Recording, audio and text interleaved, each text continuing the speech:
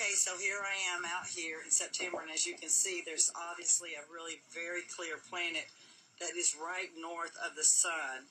And wow, I would love to say it was the moon, but since the moon happens to be right here on the opposite side, there's no way it is. And since we all have been taught in school that Mercury and Venus do not show up, oh, just look at that planet just beaming and shining right now. Somebody tell me what it is. Thank you.